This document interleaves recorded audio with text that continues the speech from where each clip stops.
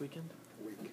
Okay, so number fourteen, find the equation of the sphere with center two, negative six, four, and radius five.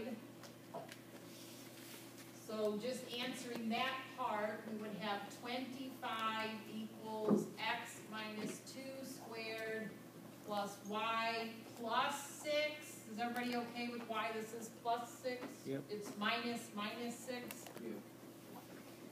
z minus four squared. Okay, so that's the first part of the question, and then it says describe. And so again, as an upper level math student, you wanna try to be as thorough as you can. Okay, so let's kind of have that generally be our, our goal unless we're really in a time crunch, you know. So describe the intersection with each of the coordinate planes. What's meant by the coordinate planes is the xy plane is one of the three coordinate planes. The yz plane is a second coordinate plane. The xz plane is the third coordinate plane. That's what's meant by the coordinate planes. XZ. So three planes? Yeah, three planes. Alright, so we've gotta put our visualizing caps on. So my sphere has radius five, and it has center two, negative six, four. So we're gonna do some algebra, but then as we're doing the algebra, we're gonna try to picture what's going on also. If I intersect the xz plane, sorry, sorry, the xy plane, if I intersect the xy plane, then z has to be zero. I'm not on the xy plane if z is not zero.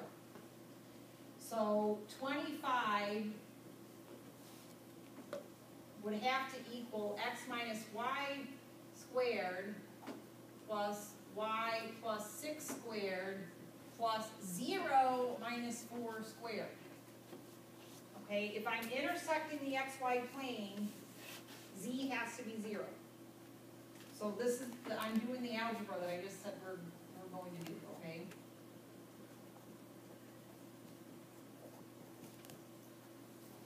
And twenty-five minus sixteen is nine, right?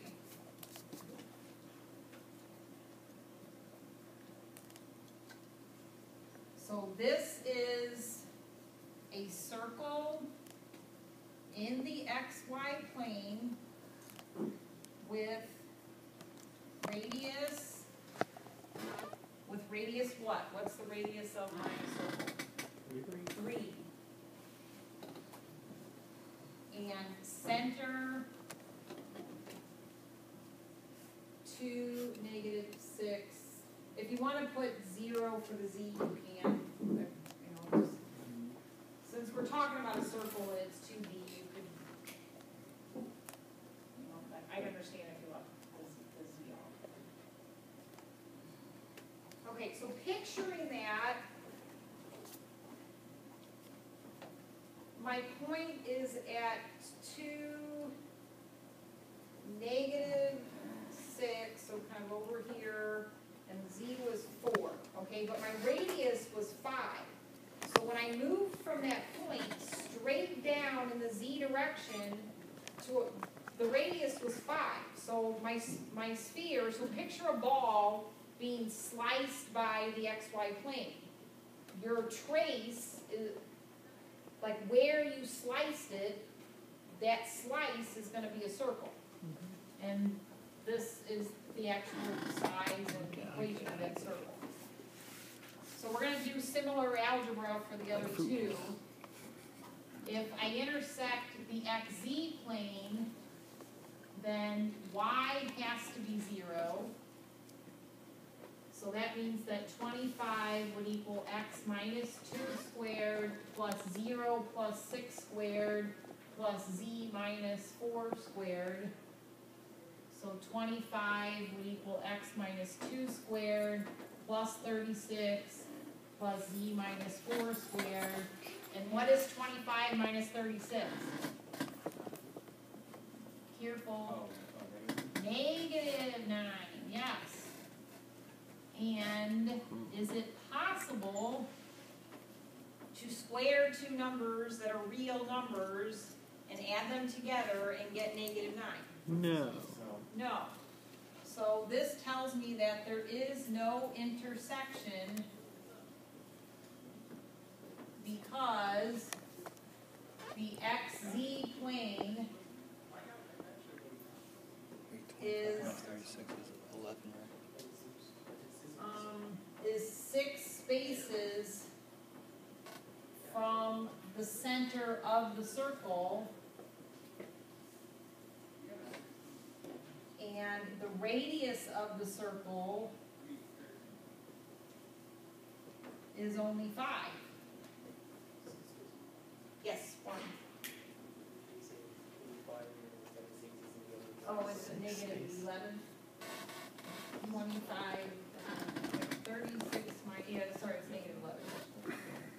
Way, right? not, not, I always not mess there. up nines and I elevens, catch hang on. everything. Thirty-six minus twenty-five, Yeah, you eleven, do see, man. negative eleven. Oh, shit. Yes, thank. Okay, Yeah, you do thank see, man. Plus A, plus A. The fact that it's negative though tells me that there's no intersection. Physically, there's no intersection because my, my sphere only had radius five, and this point, I didn't ask this on the already listening quiz today, but I could have, how far is this point from the XZ plane? It's a distance of six from the XZ plane. Alright, then for the YZ plane, X has to be zero. And so we would get twenty-five equals zero minus two squared, plus Y plus six squared, plus Z minus four squared. Twenty-five would equal four, plus Y minus, oops, sorry, Y plus six squared plus z minus four squared. And twenty-five minus four is twenty-one.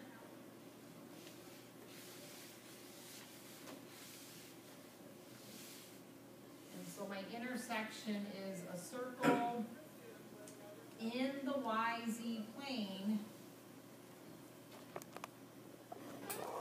with radius square root of twenty-one and center. Now here you do wanna list all three coordinates, cause if you only list Y and Z, somebody's gonna think it's X and Y. So X is zero, Y is negative six, Z is four.